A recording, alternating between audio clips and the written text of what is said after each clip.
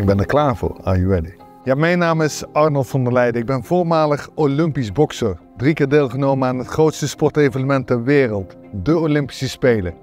In uh, 84 Los Angeles, 88 Seoul, 92 Barcelona. Ja, velen van jullie hebben het misschien niet meegemaakt, maar dat is voor mij de basis geweest om als mens en als persoon te kunnen groeien. En wat ik nu doe?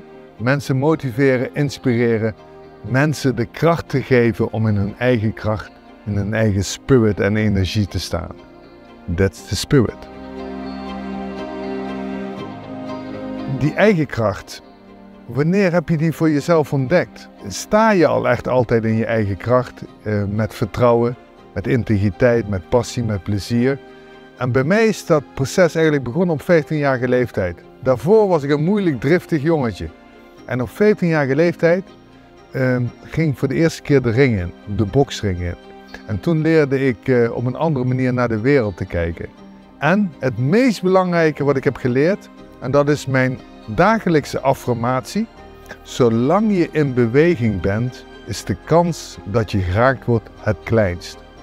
Voor iedere topsporter die in je bedrijf komt, die uh, de associatie maakt tussen topsport, ontwikkeling, beter worden, verbinden, uh, is dat eigenlijk het geval. Het gevoel wat de mensen hebben na het verlaten van mijn trainingen, het verlaten van de zaal, is van ik mag er zijn. Ik ben iemand. En ik heb zelf de kracht om een next step te kunnen maken.